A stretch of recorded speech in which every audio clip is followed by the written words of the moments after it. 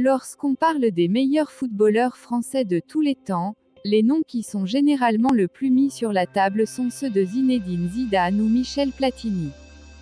Cependant, en tant qu'avant-centre, Robert Lewandowski a grandi en ayant une admiration toute particulière pour une autre légende française. À différents moments de sa carrière professionnelle, le meilleur buteur historique de l'équipe nationale polonaise, qui vient de remporter le soulier d'or dans tout le football européen, a confirmé que Thierry Henry était et sera toujours son plus grand héros dans le monde du football. Récemment, après avoir remporté le FIFA The Best Award 2020, Lewandowski a pu discuter avec Henry et là il lui a fait savoir qu'il était sa plus grande idole. Quand j'étais plus jeune, j'ai vu ton style et tes mouvements sans ballon. Je voulais être comme toi. Je voulais marquer des buts comme toi. Et je sais qu'on ne peut pas être le même footballeur que quelqu'un d'autre, mais je voulais prendre quelque chose des meilleurs et j'essayais de faire quelque chose de similaire.